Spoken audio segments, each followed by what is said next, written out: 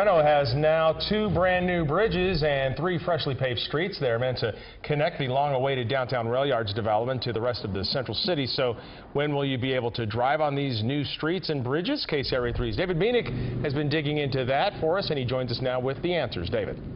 Gulstan, good evening. Yeah, it looks like a normal city. The street lights are on, the uh, traffic signals are working, except no people, no cars. The city of Sacramento completed this street project a month ago, but says for now at least, these street closed signs will stay in place.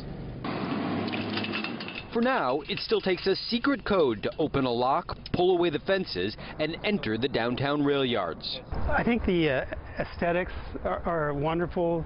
City and engineer John Blank shows how $68 million of mainly state bond money built bridges, streets, benches, and traffic lights in an area that will nearly double Sacramento's downtown. It's been a, a lot of work in the last five, six years, and we've had a lot of folks work on the project, and it's just a feeling of accomplishment.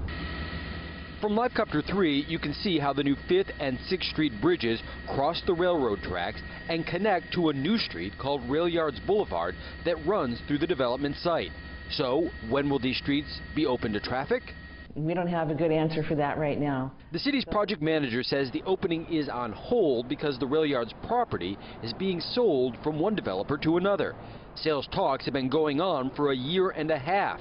They focus mainly on who will be responsible for cleaning up any additional pollution that might be discovered on this former industrial site. Obviously, these were easy. These these kinds of these kind of issues were easy to solve.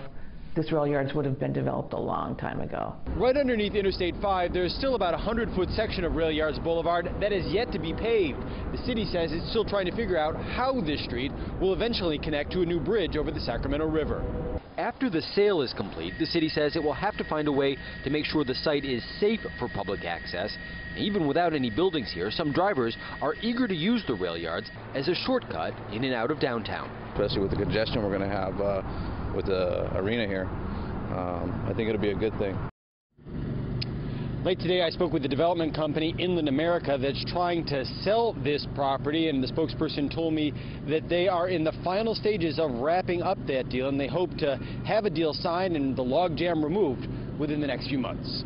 Live in Sacramento, David Bienick, KCRA 3 News. Maybe soon after that, we can see those fences come down. David, thanks.